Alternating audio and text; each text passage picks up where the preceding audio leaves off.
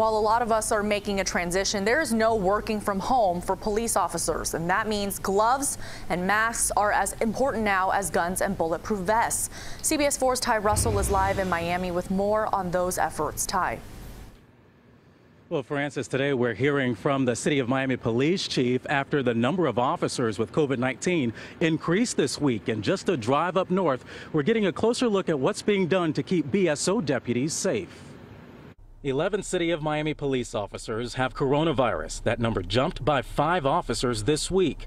Chief Jorge Colina says efforts are in place to keep that number low, like temperature checks. We know that they had an elevated temperature, or if we know that they described that to us, we we send them home immediately. We have them self-isolate, and then of course we get them tested. Because of reasons like asymptomatic people, officers have gloves and masks.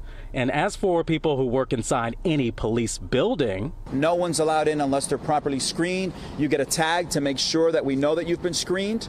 So every day this color changes. The department still has the same level of staffing on patrol. And knowing they visit several places per shift, the chief says he is alerted about cases and whether officers were there. And if so, he wants to see if his men and women were exposed. Also, Friday morning at Broward Sheriff's Office, latex gloves. 20,000 masks were handed out to deputies.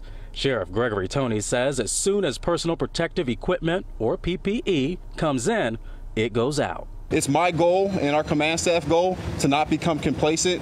We spent over $1.3 million on equipment, and I'm willing to spend another 10 if that's necessary. This new distribution happened just days after the sheriff defended BSO's efforts to keep deputies safe.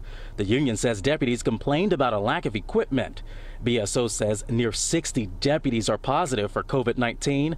They recently mourned the loss of Deputy Shannon Bennett.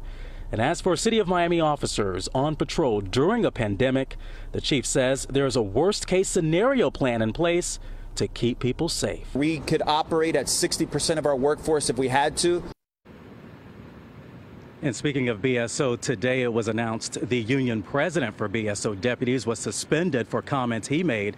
Now, the union's attorney says he was advocating for deputy safety and the suspension may be illegal, but the attorney didn't say which laws BSO may have broken. In the meantime, 225 deputies at BSO are being monitored. And here at the City of Miami's police department, out of all of the officers who tested positive, nine are still in quarantine. We are live in the city of Miami tonight. I'm Ty Russell, CBS 4 News Tonight.